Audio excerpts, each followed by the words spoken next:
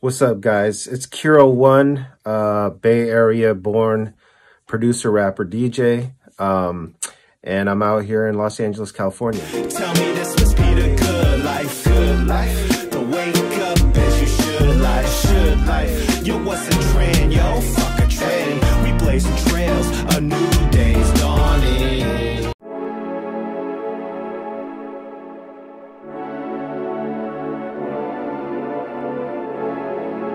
Okay, so first things first, I start my day always with a coffee.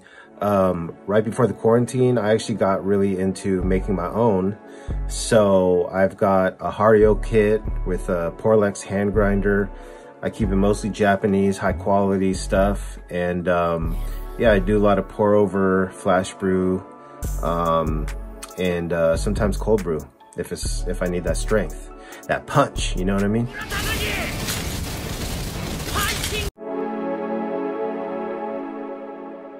My everyday schedule differs, you know, like I balance things from cooking to hiking to hanging out with like one or two friends that I trust.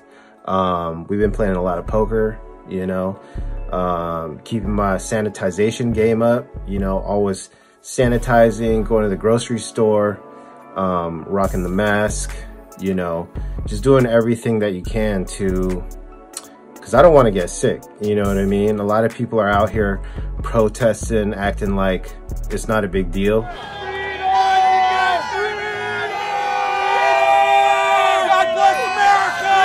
But first of all, uh, it's been proven that doing these things like washing your hands, wearing a mask, all these things will help you.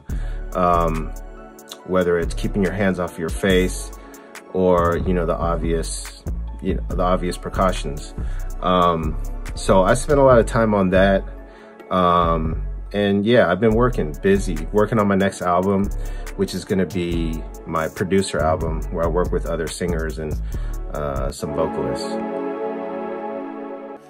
And just like everybody else, um, it's true, my Netflix game has ramped up significantly. Uh, addicted to a lot of shows uh, tapping into some of these addicting ass Korean shows. 난 지금 북한에 와 있다.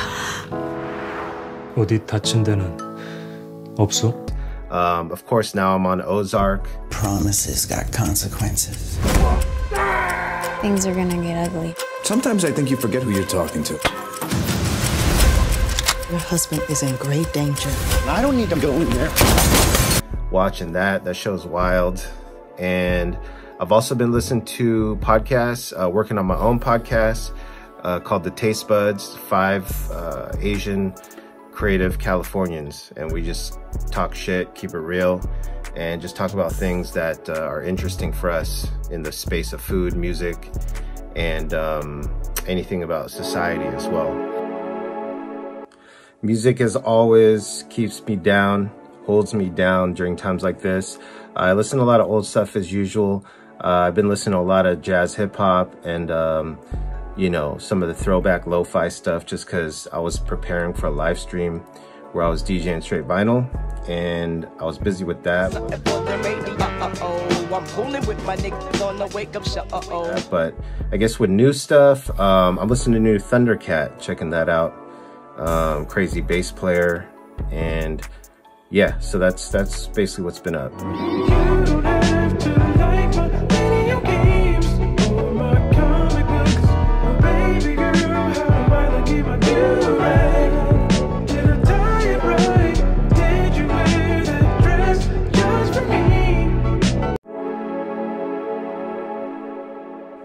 After the quarantine, I mean, there's so many things that we want to do. Um, but one random thing I think I want to do is I think I want to go to Vegas. I'm going to go to Las Vegas after this and I'm just going to have fun. Play some poker, you know? Huh? What happened last night?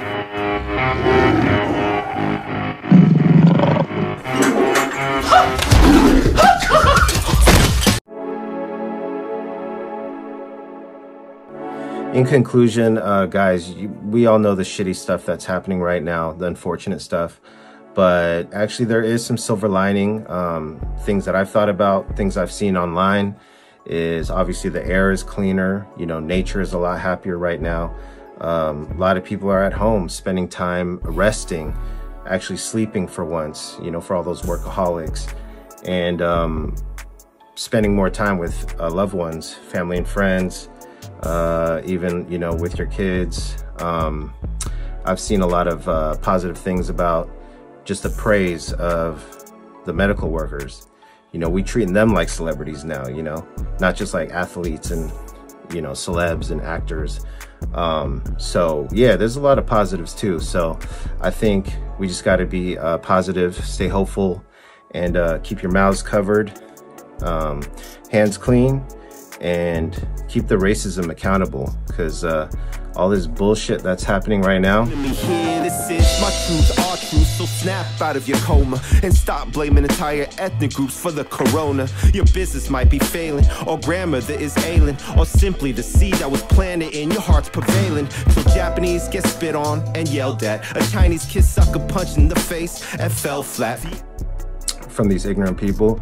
The only thing I can say is that we just got to uh, pull out your cameras and start filming, you know, because no matter what, um, people are going to talk shit.